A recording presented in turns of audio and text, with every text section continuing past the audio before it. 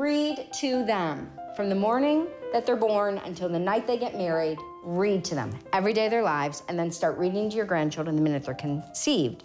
And then, number two, be a reader yourself.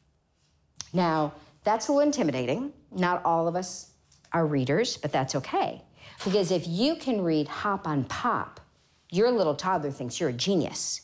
And then eventually you can read the Mr. Small books and then the Lois Lenski regional books. And you just keep moving on and on. You read Oxcart Man and you read Miss Rumphius. And each book that you read that goes up and up the level, you become a better reader. You become more dramatic. You learn how to do sound and voice inflections and accents. And, you know, you really can ham it up.